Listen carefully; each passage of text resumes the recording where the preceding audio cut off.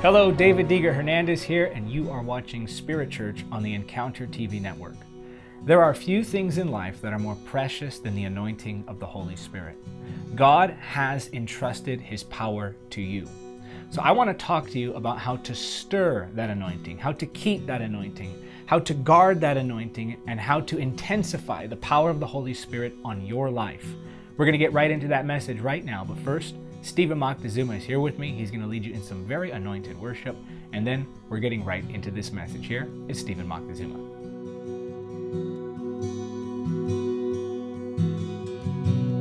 All heaven declares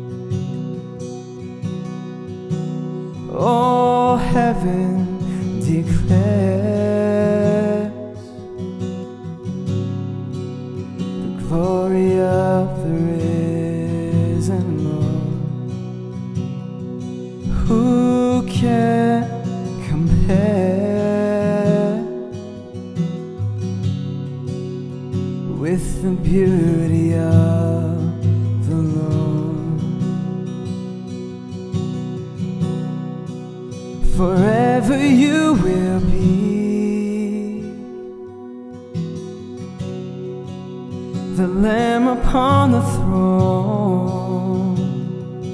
Oh, I'll gladly bow my knee and worship Him alone.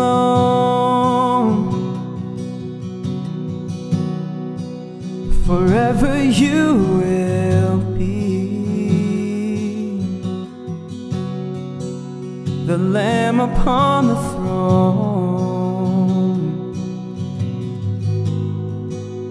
I gladly bow my knee and worship you alone.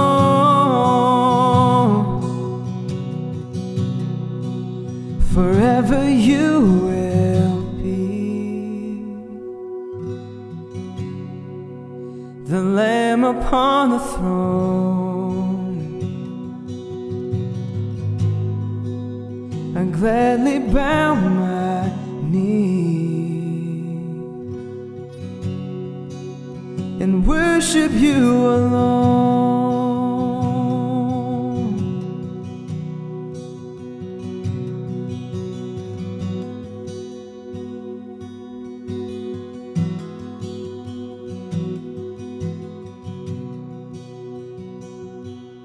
So, as I said, there are few things in life more precious than the anointing of the Holy Spirit.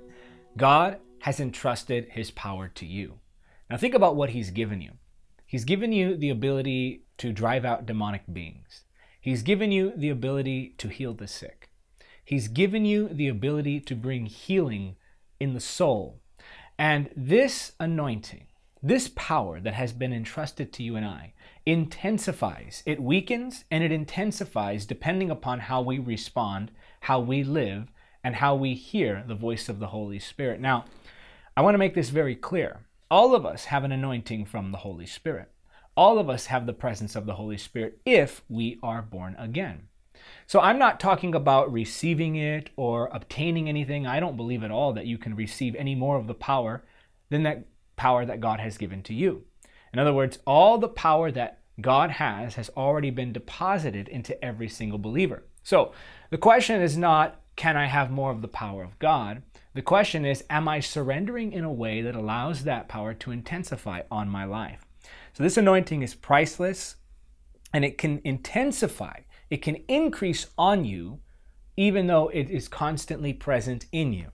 So there is this thing in the world, this idea, this demonic doctrine that I refer to as moral relativism or hedonism, and that's a common term for it. And I think that's a good term because the world has this system of belief that basically says whatever you believe, you believe, and that can be true for you. whatever I believe, I believe, and that can be true for me. It's called moral relativism. And the funny thing about this is it's summarized in this really interesting way they phrase it, which is to each his own. And what's funny about that is to each his own only works if each doesn't actually believe his own. Not everyone can be right, but everybody can be wrong. We as believers know that we have the truth. Now, why am I talking to you about this? That's because I want to compare this belief, this worldly doctrine, moral relativism, or hedonism, or do whatever pleases you philosophy. I want to compare that to a philosophy that has actually crept into the church. And this philosophy actually is minimizing, decreasing the potency of the power of God on his people because they've accepted this in their lives. So the world has moral relativism and they encapsulate that belief in the phrase to each his own. But the church has its own form of moral relativism. The church has its own form of to each his own. Now, we don't say to each his own. Instead, the church says, well, I'm not convicted about it. Or that's not something that I believe personally I need to do. Here's my question to you Since when are your convictions the standard of the Spirit? It's always been about the standard of the Holy Spirit. And the Holy Spirit's convictions are the ones that we are to follow.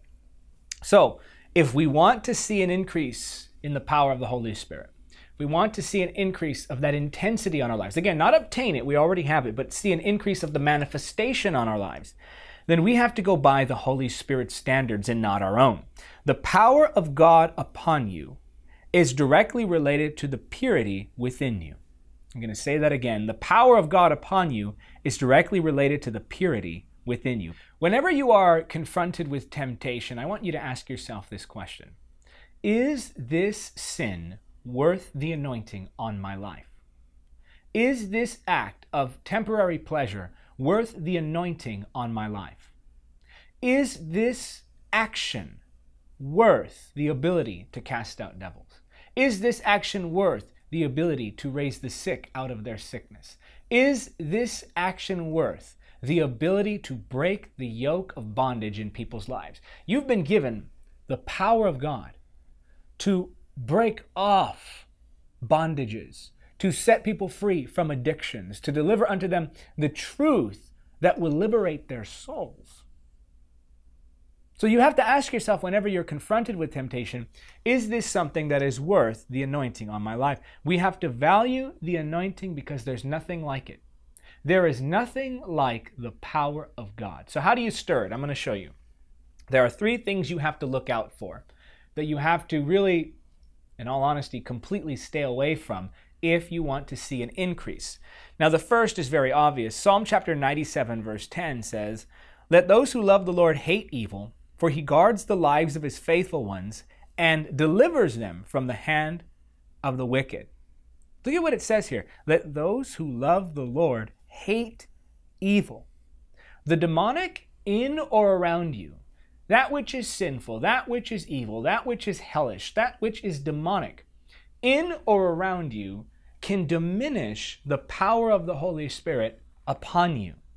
Now, I remember I was ministering in the Midwest and I was praying before the service and I could sense a warfare in the atmosphere. So I step out onto the platform and I'm just about to preach and I'm getting ready to minister when all of a sudden I sense in the back of the room this really dark spirit hovering. And I knew it was demonic because, as I said, I sensed the warfare in the atmosphere beforehand. And the people's worship was being inhibited. It was, it was not as free as it should have been. And so I take a look and I notice as I sensed this pull toward the corner of the back of the room, I look behind and I, I, I look behind the people and I notice this man wearing all black with metal piercings all throughout his body. He had this sinister smile on his face, and he's holding a satanic Bible. Before I saw him in the room, I felt him in the room. And so I look and I saw this man's presence brought with him demonic presence. And that demonic presence was affecting the worship of those who were weak in the spirit or who were not aware of spiritual warfare, who were probably compromising in some areas of their lives. And so as soon as I recognized that, I got up on the platform and I told the people to pray. In fact, I pointed him out. I said, There's a Satanist here, and I know his intentions are not good. The people of God began to pray in tongues. His demeanor fell, and the power of the Holy Spirit started flowing. It was instant. And as I always say, it wasn't a counseling session, it wasn't a long deliverance interview. It was as simple as praying, and the power of the Holy Spirit moved. So, what am I saying to you? I'm saying that the presence of the demonic can diminish the anointing in your life if you've opened a door to it. Now, if somebody comes in demonized and I'm in the power of the Holy Spirit, I'm walking in holiness, there's nothing on them that's going to affect anything in me. But if I've been compromising, if I have allowed that thing into my life, into my home, into my ministry, into my preaching, some preachers, believe it or not, allow demonic doctrines into their preaching if I've opened that up, then I've opened that up for influence, demonic influence. And that demonic influence will weaken the anointing. It will it will cause it to be quenched when you want to stir it. So you want to stir up the anointing in your life. What you need to do is remove demonic imagery from your home, from your clothing. Remove demonic influence from any aspect of your life. And by demonic influence, I'm not just talking about things of the occult. I'm talking about sin. I'm talking about compromise. I'm talking about the things that we do that directly contradict the Word of God. We need to watch what we see. Some of those TV shows you watch, some of those movies you watch are filled with demonic imagery. And you're inviting that into your life. You need to watch what you say, your confession. You're, you're, you're, you're actually allowing influence to be given over to the enemy when you speak things contrary to the Word of God. You need to be careful about what you hear, what you listen to. I'm not just talking about media like music and TV shows. I'm talking about the counsel of the ungodly. I'm talking about demonic influence that can come through manipulative people. You must be on your guard. If you want to stir that anointing on your life, then you have to be rid of the demonic. Now, you might say, but I'm not convicted about this or that. Doesn't matter. That doesn't matter. What matters is the conviction of the Holy Spirit. What are His convictions? What does he desire to be around? In what atmospheres does he desire to move? What makes him most comfortable? So, get rid of the demonic in your life. Number two, we have to be aware of the secular. Now, the secular is interesting because it's a little more subtle. The demonic is very blatant. It's anything that contradicts the word of God. But the secular is that which contradicts the nature of God. So it's not always going to be easy to spot Few people know the word, even fewer people know God's nature. So the secular is something that's more subtle, it's something that's more hidden. But I want to show you something in Scripture in just a moment. First, I want to talk to you about how I first recognized this on my way to minister to different church services or at different miracle services, even before taping TV programs. I would notice, and I noticed this early on, and I didn't understand it till later. A mentor of mine was the one who pointed it out to me, and it all became crystal clear. But on my way to services or on my way to do a TV show or on my way to minister to someone, I would often recognize that if I looked at a certain billboard on my way, even, even if it wasn't something that was directly demonic in nature or directly sinful in nature, there, was, there were just certain images that would weaken that, that sense of God's power. If I would go into a place, think about this, this this this will actually interest you here, and and hopefully this will challenge many of you. I remember when I used to do youth conferences. I would go into these youth conferences. They would say, Brother David, we want you to preach and pray and bring the power of the Holy Spirit. So I would pray, I would listen to worship music, and then I would get into their service and they would be playing secular music right there on the platform. They would do all these games. They'd say, okay, we're going to have games first. I'm thinking, what do games have to do with the presence of the Holy Spirit? And I would notice that even though some of the things they were playing weren't directly sinful, some of the things that were they were they were doing and some of the things that they were showing and some of the things that they were entertaining on that platform, even though they were not directly demonic, I could sense sitting in my seat the anointing and the power of God just diminishing. And there was no atmosphere prepared for the Holy Spirit whatsoever. The music they listened to, the games that they were playing were just silly nonsense, waste of time. Um, I'm not saying there's never a time for that, but if you're pursuing a move of the Holy Spirit, you don't set it up by having people do strange things, and it, it just it just the atmosphere just was not right. Look, as I said, um, these are things that not a lot of people think about. And you may not like me for this. You may not like that I'm saying this. You may think I'm being too religious. I'm not saying anyone's going to go to hell because they do those things. I'm simply saying, look at my life. If, if you want that, if you want that demonstration of power on yours, I'm simply telling you what I do. Kind of like diet or exercise, you know. You don't really want to force that on people, but you say, hey, if you want these results, here's what you have to do. And I'm telling you from experience, those things weaken the anointing. You don't set an atmosphere for the Holy Spirit by having people play games. And I, again, I have nothing uh, in particular against games in and of themselves. I'm just saying, preparing an atmosphere, you have to make sure you're not entertaining the secular. My mentor would often uh, tell me these things, and, and it wasn't until I, I learned this specifically from him. I had always known it somewhere in my subconscious, and I always recognized it, but it wasn't until he put words to it that I recognized, oh my goodness, that's right. You entertain the secular. You have to look at what you're watching, not just demonic, just things that are just distracting in nature, things that are just a waste of time. You have to be careful about that. Look at Matthew chapter 9, verses 23. The scripture says, When Jesus entered the synagogue leader's house and saw the noisy crowd and people playing pipes, he said, Go away, the girl is not dead, but asleep. But they laughed at him. After the crowd had been put outside, he went in and took the girl by the hand, and she got up. News of this spread through all that region. Now, in that small portion of scripture there, it's talking about the synagogue leader's daughter who passed away. Jesus goes into the home, says she is just sleeping. Everybody laughs at him. There was nothing necessarily demonic about that. There was nothing necessarily overtly sinful about that. These were just people who thought he was silly. They thought, how can he say that? This girl is obviously dead. And to be honest, if you were there, you might have done the same, especially because most people didn't know who Jesus was at the time. But we see here that it was just this attitude, this apathetic, flippant attitude toward the things of God. They just didn't care. It wasn't a big deal. And it's that apathy that really is the essence of the nature of the secular. That apathy toward the things of God. There's a lack of reverence, there's a lack of solidarity, there's a lack of trembling before the presence of God. They don't prepare their hearts. They're just they just live in this constant state of um, you know easygoing demeanor, and they never experience the fullness of God's power because they don't know how to tremble before His presence. They don't know how to reverence Him, and that's because the secular has made them apathetic toward the sacred. So we have the sensational in our world, the entertaining, but we don't want the entertaining. We want the sacred. We don't want the vibrant and the exciting. We want specifically the holy presence of God. And I'm not saying that that's not exciting. I'm saying we don't seek excitement for itself. So, my point here is simply that we have to watch for those things that are not necessarily specifically demonic or sinful, but are in and of themselves distracting and irreverent and apathetic toward the things of God. I can recall one time I was prophesying in a church service, and I had never before seen so clearly prophetically. I'm telling you, in the service, I was hearing people's thoughts. Now, you may think I'm crazy for saying that, but I'm telling you, I was hearing their thoughts.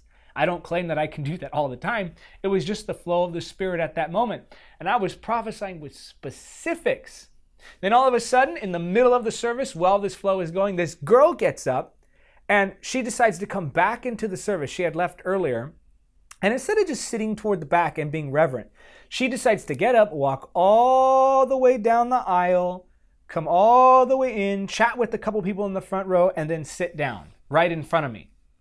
And literally, I looked at her, I watched her come down the aisle, I saw her sit down, and I looked at the people. I said, Well, that's it, I'm done. And I didn't imply that it was her. I don't think anybody caught that, but in the moment, I just realized that's it. She, she, she totally, something broke. All I can tell you is something broke when she came in and distracted me and everybody else. And it was just that irreverence toward the things of God that completely broke the power of the Holy Spirit. So, number one, watch out for the demonic. Number two, watch out for the secular. That is much more subtle. And number three, it's a simple one watch out for the vain. You know, one time I had ministered at a miracle service and this woman got healed. It was a powerful time of ministry. This woman gets healed. She comes up to me after the service. She's so excited. I don't even remember specifically what she was healed from, but she comes up to me and she says, David Hernandez, thank you so much for praying for me. I was suffering with this sickness for such and such time. And she goes on with her testimony. And then she says, Thank you, thank you, thank you. And I said, Oh, well, God bless you. And she left. And the moment she left, the Holy Spirit convicted me. He said, Why did you receive her thanks? You see, she said thank you to me, and I didn't immediately point it back to God. Now, I wasn't trying to take God's glory. It wasn't my intention. In my mind, I wasn't going, yes, that's right. Thank me. I'm the one who did it. No, I know I'm not the healer. But God is so protective of his glory that the Holy Spirit convicted me and said, You go find that lady right now and you make it clear to her that I'm the one to thank, not you. So I left the line of people waiting to talk and I went to go find that lady and I said, Hey, I just have to tell you this real quick. You thanked me. I just want you to know I'm not the one to thank. She said, Yeah, I know. And just casually went on. I thought that was odd. Why is it that the Lord seemingly made such a big deal out of it? And that's because it was a big deal. That's how it starts. The scripture says in Isaiah chapter 42, verse 8, My name is the Lord. I won't let idols or humans share my glory and praise. All the men and women of God that I know who are being greatly used are very difficult to compliment. You try to tell them how much you appreciate them, you try to tell them how much their ministries impact your life, and they just kind of sidestep your compliments and they, they don't receive it. The compliments don't stick to them. It's very difficult to compliment a true servant of God because they're constantly shifting the glory right back over. They deflect it off of themselves and reflect it onto the Father. So the, the, the vain is what will kill the anointing in life. Receiving the glory, wanting to be admired, competing with fellow ministers, this ambition to be important, this ambition to want to sit in the front, this ambition to say, I want to take pictures with all the famous preachers, this ambition to be recognized publicly. All of that will weaken the anointing on your life. Why? Because God doesn't want to share his glory. Well, that is it for the lesson. I want to pray with you now. I want to pray that God would keep stirring the anointing on your life. And that you would put these things into practice and that you would guard that precious power that God has deposited in you. So, Father, in the name of Jesus, I pray for that one receiving this prayer now. And I ask you, Lord, to be their constant reminder. Holy Spirit, speak to them. Help them to walk in purity and safety. Protect their call as they cherish the anointing that you've placed on them. Remind us, Lord, of just what it is that we have received. In the name of Jesus, we pray. I want you to say it because you agree. Say, Amen. I want to welcome now the new members of Spirit Church. There you are up on the screen. We love you and we are praying for you. I always say that because I always mean it. If you would like information on how you can join the Spirit family, then go to davidhernandezministries.com slash spirit church. Go and sign up. It's absolutely free. When you sign up, you're going to get an email from our ministry every single week. And in that email, you're going to get a free teaching, brand new, fresh every single week, and a worship cover from my brother Steven. And the best part, you can reply to that email for prayer support from our ministry staff Again, join the Spirit family, now over 8,000 members strong, from all over the world, actually. Okay, I want to get to your comments now, and these comments are from my message, My Encounter with the Demon. Now, these comments I like to read because it's how we can interact with one another. But if you would potentially like me to read your comments on this message next week, then go ahead and leave a comment in the comment section right now, and we may feature it in the next comment uh, segment on Spirit Church. So, again, these are from the video, My Encounter with the Demon. You really should go watch that. In that video, I give you a truth that you absolutely must learn about demonic beings if you're going to be protected from their attacks. The first commenter writes Dear Pastor, I am from India, and your messages help me so much in growing my spiritual life. Thank you so much. May God bless you, your family, and your ministry. Sarah W. writes David, I am eternally grateful for your ministry and that God is moving through you to touch the nations in the name of Jesus. Well, thank you, Sarah. All glory belongs to Jesus, and we're so glad that lives are being touched all around the world. The next commenter writes The nation is really blessed to have you teach more about the Holy Spirit. May God bless you. Keep on doing the good works of God. You know, the Holy Spirit really is one of our main focuses because God gave me a mandate. That mandate was simple. He said, I want you to introduce my Holy Spirit to your generation. And I pray that you are truly coming into fellowship with the Holy Spirit. The final comment comes from Diana M., who writes This past week or so of discovering your ministry has radically changed my relationship with the Holy Spirit. I'm so turned to change how I see and understand God's word. So much is changing, and now I can't get enough of any part of God. Thank you. You are all changing lives more than you will ever realize. May our Father in heaven bless you all. Well, that is just a wonderful comment. Again, all glory belongs to God. Her relationship with the Holy Spirit has been radically changed. Think about that. Now, here's what I need from you. Look, don't turn this video off. I want to talk to you. I'm not talking to someone else. I'm not talking to another viewer. I'm talking to you. Our ministry is expanding. Look, I've been saying this for the past couple of years because the past couple of years, month over month, we've just seen grow, growing, growing, growing, growing. And I I'm so excited to see what God is doing. Look at our events. Go look at pictures that we've posted on Instagram. Go look at things that we've posted on YouTube. Look at the, the crowds of people that are now coming. They're increasing, it's growing rapidly. Go look at the, the different things that we're doing through media. Look at some of the reach that some of the videos are getting. They're reaching hundreds of thousands of people at a time. This all comes together to create a reach of three to four million people almost every single month who are receiving the power of God. Look, now more than ever, the world needs the power of the Holy Spirit. Now more than ever. And I'm asking you, as our ministry is expanding now, look, we're, we're just a few weeks now away. I gave you that original date for when we're finishing the studio, and we're still on track for that. We're just a few weeks now from finishing that up.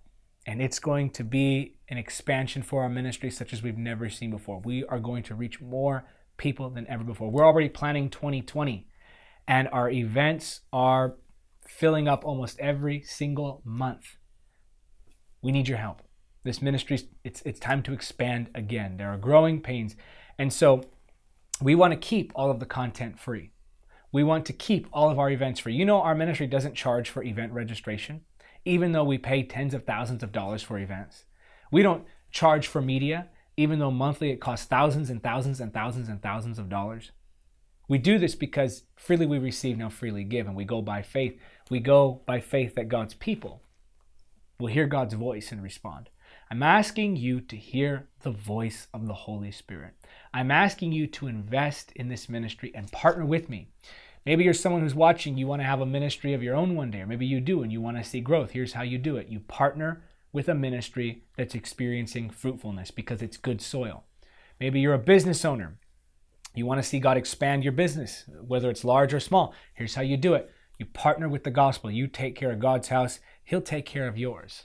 So, I'm asking you now, partner with me. 10, 30, $100 a month. When you sign up to become my partner for $30 or more a month, I will either send you Carriers of the Glory, Encountering the Holy Spirit in every book of the Bible, or 25 Truths about Demons and Spiritual Warfare. It'll be my initiation gift to you, my thank you for becoming my partner. Sign up today. Maybe you've been watching us for a few months, you've been receiving, you're praying about it. Now is the time. We're expanding. We need you. Let's do this. We got a world to win. Partner with me through a monthly gift or make a one time gift today and be generous.